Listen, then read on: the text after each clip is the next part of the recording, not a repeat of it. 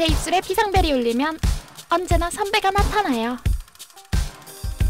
시켜줘 그럼 뭘요? 네 입술 명예소 관관 집마다 하나쯤은 있는 바셀린. 입술의 수분을 싹 가둬줘서 요즘같이 건조한 겨울 부르트는 입술을 위한 필수템이지.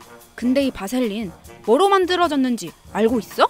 바로 이 색감은 석유. 바셀린 뒷면 성분 구성을 보면 페트롤라튬 100%라는 문구를 볼 수 있는데 이 페트롤라튬이 바로 석유를 정제해 만들어진 부산물, 일명 석유젤리야. 1800년대 석유 시추 기계에 끼어 있는 물질 페트롤라튬을 노동자들이 상처난 부위에 바르는 걸 보고 성분을 연구한 끝에 의약품으로 출시한 게 바로 바셀린이지.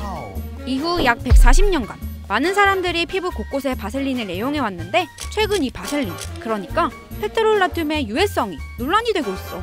아니 어젯밤에도 입술에 한 주걱은 퍼발랐는데 이게 웬 황당한 소리냐고? 안전보건공단에선 페트롤라튬을 사용할 때 주의해야 한다고 경고하고 있어. 호흡기를 자극할 수 있고 암을 일으킬 수도 있다고 말이야. 물론 우리가 사용하는 바셀린의 페트롤라튬은 저런 위험 물질이 대부분 정제됐어. 그런데 페트롤라튬은 증류 방법을 통해서 정제를 하는데 즉 정제 방법과 그에 따라 얼마나 순수한 페트롤라튬을 얻었느냐에 따라 안정성 논란에 대한 결론을 내릴 수 있을 텐데요. 아까 말씀드린 다환 방향족 탄화수소염의 불순물이 포함될 수 있고 이 성분이 암을 일으킬 가능성이 있습니다. 사실상 쉽지 않은 일이기 때문에 바람 우려가 전혀 없다고는 말할 수 없다 라고 말씀드릴 수 있겠습니다. 유럽에선 특히 페트롤라튬의 발암 가능성에 주목. 제조업체가 정제 과정을 기록하고 발암 가능성이 없다는 사실까지 밝혀야 화장품이나 의약품에 사용할 수 있도록 따로 규제하고 있어. 그렇다면 한국은 어떨까? 그 우리나라 규제나 유럽 규제랑 거의 동일합니다. 내용으로만 사용하도록 라벨에 표시를 하고 있습니다. 바를 때도 눈에 들어가지 않도록 그렇게 좀 주의하시는 게 좋을 것 같고 어린이가 뭐 삼켰을 때는 의사의 진료를 빨리 받아보는 게 좋을 것 같습니다. 국내에도 유럽과 비슷한 규제를 하고 있고 체내에 흡수되지 않게 외피에만 바르라고 당부하고 있어.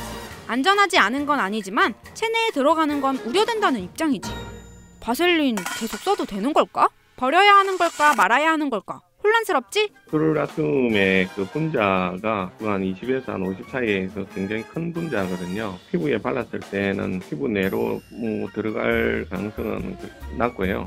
그렇지만 페트롤라튬을 먹거나 흡입하는 것은 전혀 다른 이야기죠. 일부가 코 속이 헐거나 부었을 때 코 속에 발라주는 경우가 있는 것으로 알고 있는데요. 많은 양을 사용한다면 그 중 일부가 폐로 직접 들어갈 수도 있고 이 경우 폐렴과 같은 염증을 유발할 수도 있기 때문에 조심하시는 것이 좋다고 판단됩니다. 바셀린 버리지 않아도 돼. 관건은 먹지 않기. 입술 등 체내로 들어가기 쉬운 부위에 사용하는 건 가급적 지양하기. 냠냠 good. 먹기 쉬운 입술. 킁킁. 흡입하기 쉬운 콧구멍. 그리고 몸 안에 흡수될 가능성이 있는 눈. 항문 아 이거 좀 그렇나? 음을 제외한 모든 피부에 사용하는 것은 괜찮아. 맞다. 그리고 상처 났을 때 바셀린을 바르는 사람도 종종 있는데 바셀린은 그 자체에 보습 및 피부 재생 촉진 성분이 전혀 없기 때문에 상처를 빨리 낫게 하려면 바셀린보단 상처 치료 전용 용고를 발라주는 게 더 좋아. 그동안 밤마다 내 입술을 지켜온 내 입술 명예소방관 바셀린. 이제는 입술 말고 다른 곳에 잘 써볼게.